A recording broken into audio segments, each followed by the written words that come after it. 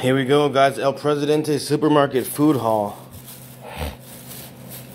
El Presidente is a store I've only seen down here in Miami so far, so you can look it up if you want. You don't have to. Original Tropicana orange juice, no pulp. I got two Cape Cod chips. Original. Those are. And the oranges is for Tia also. I got these for me, of course. A six pack of piña. Uh, pineapple drink.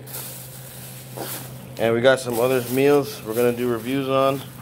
Lunch Rolls Pizza Pockets, Kid Cuisine, Hungry Man, and Totino's Pizza, and all the good stuff. Like, subscribe, and share right now.